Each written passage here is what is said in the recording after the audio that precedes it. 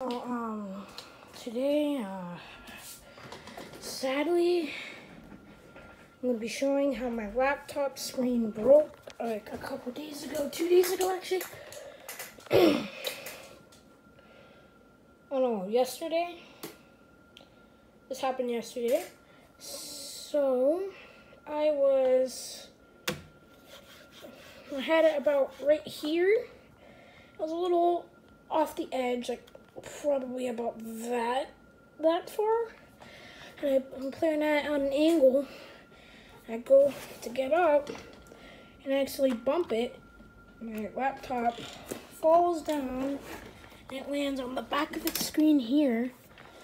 here it is now. And then this um, external hard drive that was plugged into it came down with it fell right on top of the screen, which um, broke it.